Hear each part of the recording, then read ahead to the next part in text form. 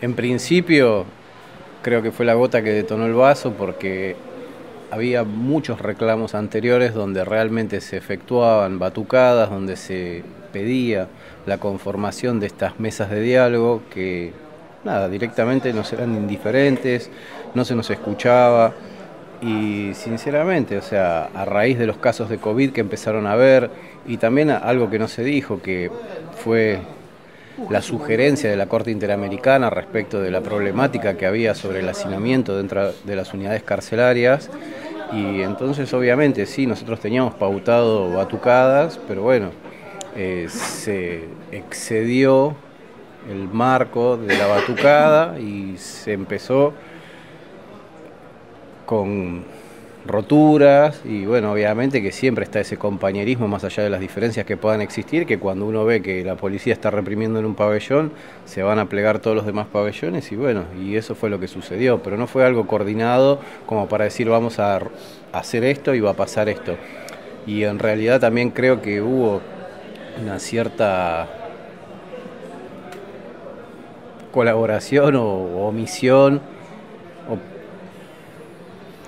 liviandad por parte de la institución que en realidad también buscaba esto. En sí, la verdad que no, fue nada programado. Una cosa llevó a la otra y terminamos de todo arriba del techo. Esa fue la realidad. Hola, somos Radio Oculta y lo que vamos a escuchar es un podcast. Episodio 2. ¿Por qué se rompe un techo? Con la participación de Claudia Cesaroni. La culpa para mí del servicio fue la situación en general que no se, no se tuvo en cuenta. Más allá de todas las problemáticas carcelarias, acá teníamos distintos condimentos como el COVID, como dijo el compañero, el hacinamiento, el anuncio de que, de que iba a haber faltas de visitas, o sea que se iban a cortar las visitas. Y todo, en todo ese contexto nunca se tuvo en cuenta al interno que estaba ahí hacinado, que se le estaban cortando los víveres de a poco, que, que no sabíamos cómo iba a actuar el COVID acá adentro. Bueno, y ante el reclamo de la gente, el servicio lo único que hizo fue apretar, como se dice acá adentro encerrarnos adentro de los pabellones.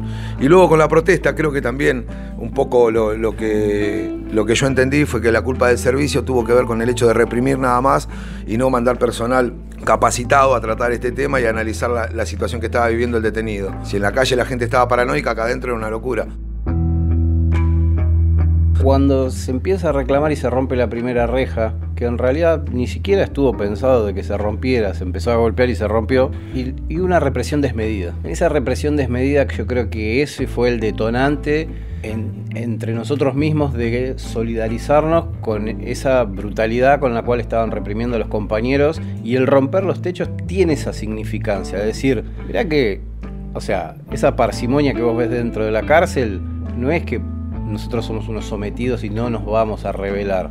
A veces uno por lo general intenta hacer las cosas bien, pero nosotros obviamente que ante una represión de tal magnitud, nada, la cárcel explotó. El servicio penitenciario, a ser una fuerza de seguridad, lo que procura simplemente es la seguridad de, que no se fugue nadie, ¿no? de que las personas estén bien. Entonces, en ese sentido, cuando surgió la represión en sí, el techo era el último lugar para, por donde se podía salir. Por ahí, sinceramente, si hubiera entrado la policía dentro de los pabellones, los, chicos tenían que salir corriendo para arriba porque vos adelante tenías una reja donde te estaban tirando balazos. Se salió por un techo porque era el lugar donde se podía ir a gritar. No se podía gritar una reja a la gente que te estaba tirando balas. lo primero que apareció en los medios es motín en devoto, ¿no? Entonces, otra vez la cuestión de, la idea del motín, o sea, de levantarse para, tomar un penal o para lastimar penitenciarios. La manera en que las personas que están privadas de libertad tienen que hacer algo para que se las vea, eh, y cómo eso se etiqueta como motín o prender colchones o esto remite, a mí por lo menos me remite inmediatamente a la masacre del pabellón séptimo, porque eso también, y a esto que decían antes de dejar avanzar el conflicto, ¿no? El servicio penitenciario es experto en dejar avanzar los conflictos. Ahí aparece cortarse para que te den pelota, prender fuego un colchón, subirte a un techo, digamos. Me parece que eso también, esos modos que el resto de la sociedad ve como modos violentos de reclamar, tienen que ver con la imposibilidad de reclamar de otros modos, ¿no? De, una, de manera eh, sentarse en una mesa de negociación, sentarse en una discutir con alguien, con un interlocutor. Entonces me parece que la falta de interlocutor o el hecho de que interlocutor sea una fuerza de seguridad y al interior del lugar de encierro genera eh, esa eh, manera de tener que hacer algo disruptivo, violento, entre comillas, para que te vean.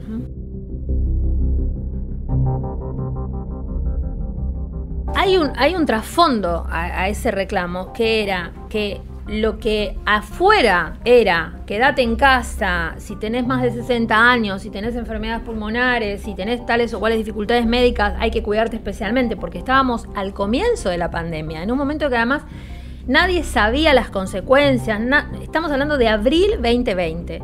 Entonces, afuera, en el mundo, comillas, libre, todos estábamos preocupados por no contagiarnos, por no enfermarnos, etc. Entonces, el reclamo de muchas organizaciones era que empezaran a liberarse personas. O sea, el reclamo de fondo era que había personas que no tenían que estar detenidas, o porque tenían enfermedades preexistentes, o porque eran mujeres que tenían niños pequeños, o porque tenían más de 60 años, o porque estaban en términos de libertad condicional, y porque además se habían suspendido las salidas transitorias. Todo eso fue el trasfondo, digamos, de, de los distintos reclamos que hubo.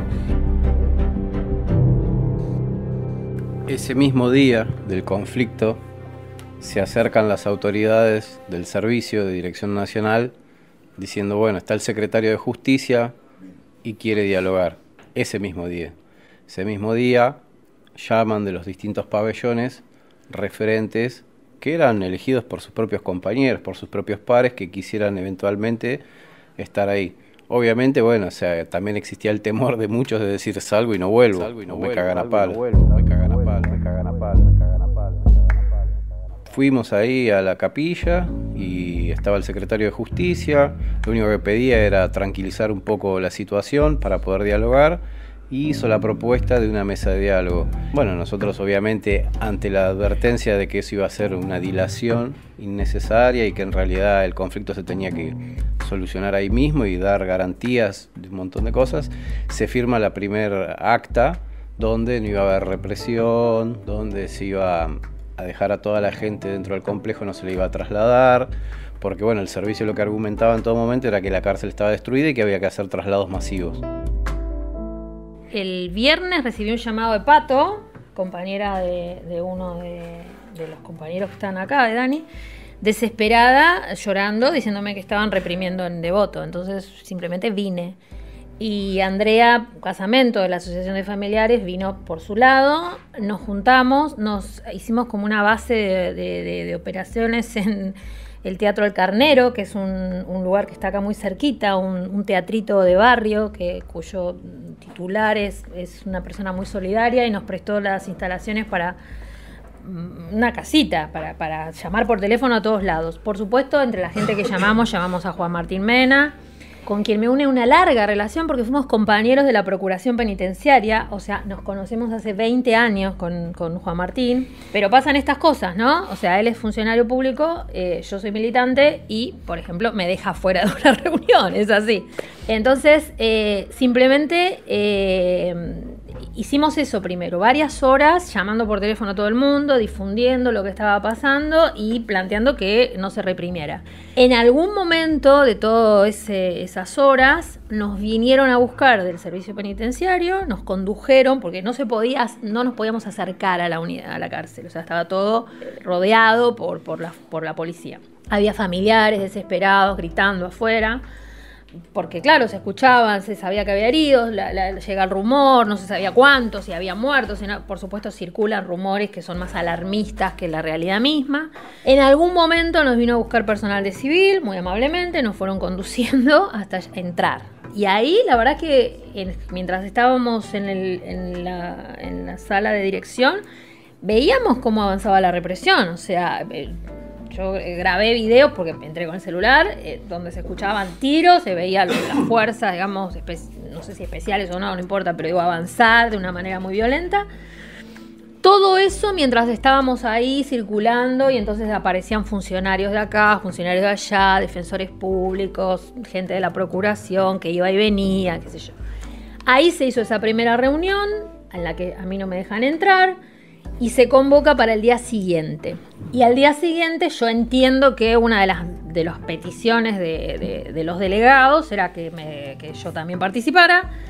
Entonces Ahí al día siguiente sí, efectivamente entramos Andrea, eh, yo y entró otro compañero abogado que es de eh, Supla, que éramos, digamos, las tres personas representantes de distintas organizaciones. En esa primera mesa, eh, era una gráficamente era una mesa que dividía, digamos, de un lado estaban todos los funcionarios públicos y el servicio penitenciario en pleno, o, quienes el servicio determinó que tenían que estar, incluido su aparato de inteligencia, evidentemente y de este lado estaban los detenidos y nosotros, digamos, acompañándolos simplemente para garantizar estas cosas, digamos, que no hubiera traslados. Me acuerdo perfectamente que en uno, no sé si fue ese sábado u otro sábado, porque hubo varias reuniones, estábamos en, plena, en pleno intercambio y a mí me llegó una información de que en un pabellón estaban sacando gente a otro lugar. Entonces, que paremos la reunión, pasa esto, estaba el director del servicio penitenciario Emiliano Blanco, hoy procesado por espionaje ilegal. Y efectivamente, bueno, en ese momento se paró. Pero quiero decir, mientras nosotros dialogábamos, pasaban cosas que subvertían lo que estábamos dialogando, ¿no? Eh, nos filmaban constantemente y bueno, o sea, documentaban todo lo que se estaba dialogando en esa mesa de diálogo que después también intentaban tergiversar diciendo que había sido una negociación, que no fue así tampoco. Radio Oculta. Radio Oculta. Después de una mañana de extrema tensión, casi podríamos decir de dramatismo, con incendios, balas eh, y todo el penal rodeado por fuerzas de seguridad, hubo una tensa calma, pero ahora recrudecieron los incidentes que se motivaron a partir de la mañana como consecuencia de que un grupo de eh, presos, ahora se habla ya de que está el 70% de la población de ese penal comprometido en esto, que algunos dicen son protestas y otros califican lisa y llanamente como un motín. Lisa y llanamente como un motín.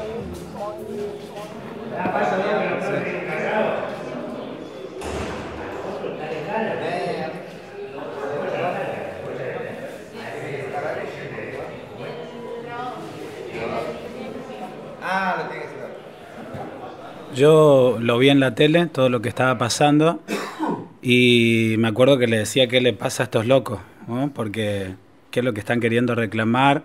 Estábamos en plena pandemia, nosotros estábamos encerrados en casa y, estos estaban ahí gritando y haciendo ruido y quilombo y nada que ver lo que les pasa a esto. Y claramente hoy estoy acá adentro y me arrepiento de todo lo que dije y entiendo un montón de cosas que estando afuera no entendía. Y me doy cuenta que a veces hablamos por hablar y decimos cosas por decir eh, y es necesario muchas veces en la vida en general pasar por determinadas situaciones para darte cuenta y tener empatía y, ver eh, las cosas diferentes.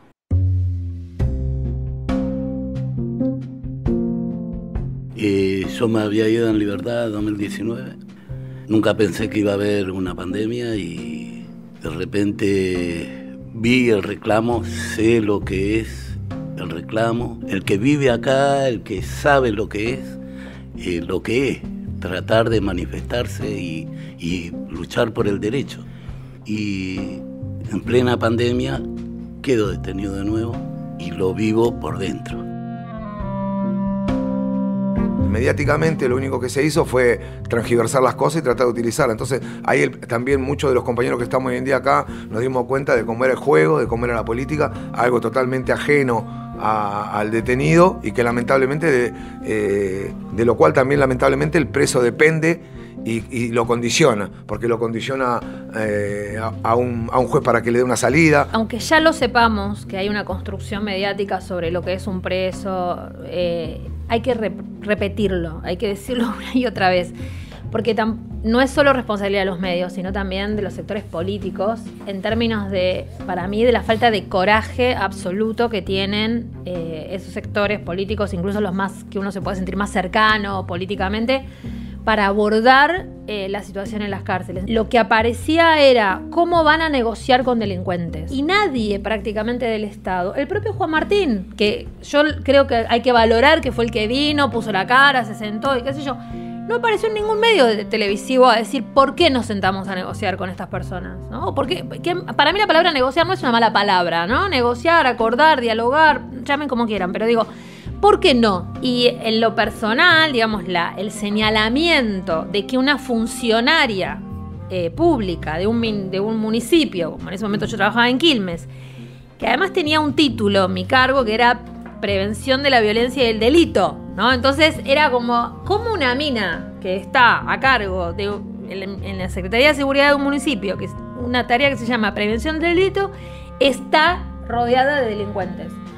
Y lo que yo decía era, no me, me parece que una política de prevención del delito justamente es colaborar y aportar a que las personas que están privadas de libertad salgan en mejores condiciones, encuentren una fuente de laburo, bla, bla, bla. Cualquier intervención que haga el Estado o que haga una militante o un militante o una organización con las personas privadas de libertad está sospechada de ser cómplice de tal cosa o, acompañar ilegalidades. Yo me río mucho cuando eh, en, algunos, en Twitter, por ejemplo, planteo estas cosas y me dice, defensora de delincuentes. Yo digo, bueno, soy abogada, soy abogada, soy abogada, soy abogada.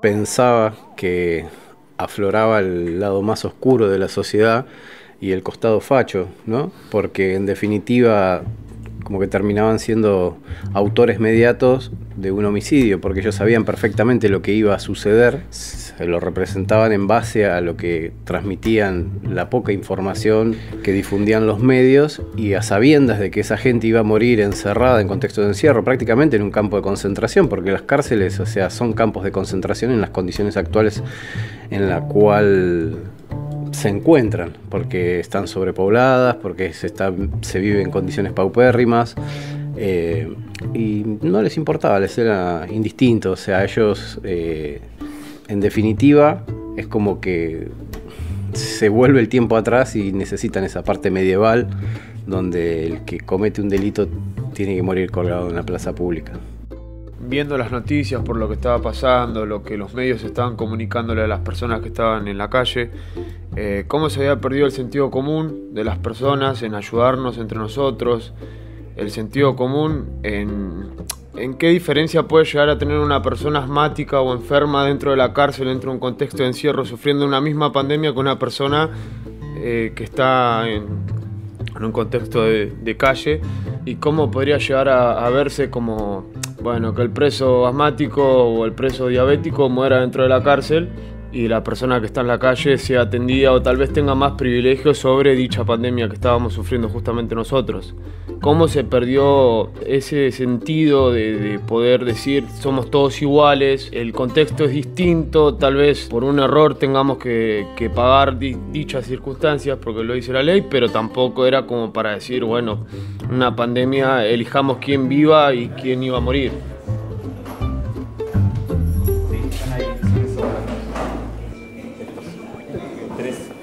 Sanitizante.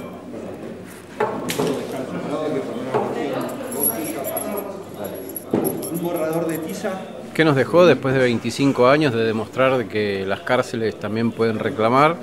Que aunque parezca descabellado, es un modo de reclamar, porque evidentemente ante reclamos que no son visibles, el Poder Ejecutivo, el Poder Judicial mira hacia otro costado, trata de taparlo y bueno, para mí fue muy positivo en muchos aspectos. Eh, a nivel compañerismo, demostró unión, eh, pese a las diferencias que existen dentro de la cárcel. También eh, a nivel judicial, bueno, obviamente que muchas cosas fueron negativas porque los jueces se hicieron eco de, de esta situación y nada, como disciplinamiento negaron sistemáticamente un montón de, beneficios o acceso a institutos liberatorios, pero nada, como positivo yo creo que fue importante también lograr la disolución de una cúpula que era muy autoritaria, alineada a un gobierno que tenía un, un pensamiento muy muy positivista y nada, y que de hecho fueron los que traccionaron eh, la reforma de la ley de ejecución también, en parte, porque muchas de las ideas salen siempre dentro de las agencias penitenciarias. Así que, nada, pese a que hoy, si bien eh, no hay un director nacional y, y hay una subsecretaria que hizo en su momento de interventora, existen resistencias institucionales, pero yo creo que hay que seguir trabajando para que existan verdaderos cambios dentro del servicio penitenciario y, bueno, también dentro de la cabeza de los magistrados. Quiero reivindicar también el reclamo de darle una perspectiva de género al reclamo eh, que ellos hicieron en reiteradas ocasiones y que el Estado no pudo garantizar, es decir, el Estado no garantizó que las mujeres privadas de libertad estuvieran presentes en la misma mesa de diálogo que estábamos llevando adelante.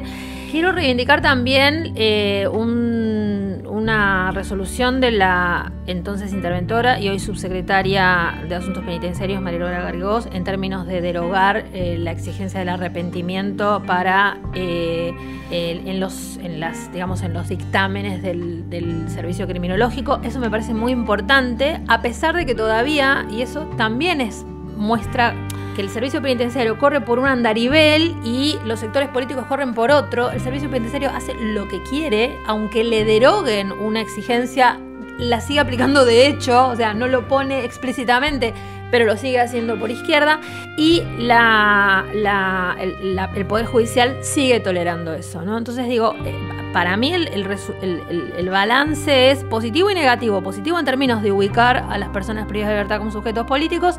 Alguna pequeña modificación, esto que acabo de decir, la derogación de la exigencia de arrepentimiento, que era uno de los reclamos, digamos, en cómo se hacen los informes criminológicos, porque en eso va muchas veces la libertad de la persona pero creo que hay un montón de cosas que hay que seguir eh, insistiendo y sobre todo en, lograr que ese, ese puente, esa mirada de la afuera con relación a la de adentro no sea ver monstruos estilo el marginal, sino personas que no pierden su condición de ciudadanos y que en algún momento vuelven a vivir fuera de la cárcel.